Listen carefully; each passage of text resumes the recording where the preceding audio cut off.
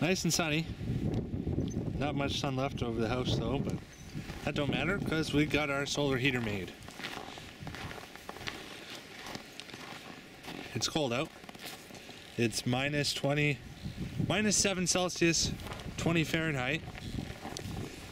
And our air coming out using our beef thermometer is 88 degrees Fahrenheit. If you put your hand over the hole, it's actually quite warm. 48 tin cans painted black behind a window. Pretty simple thing. Air coming in the bottom at uh, minus 5 Celsius. And it's coming out the top at 97 Fahrenheit.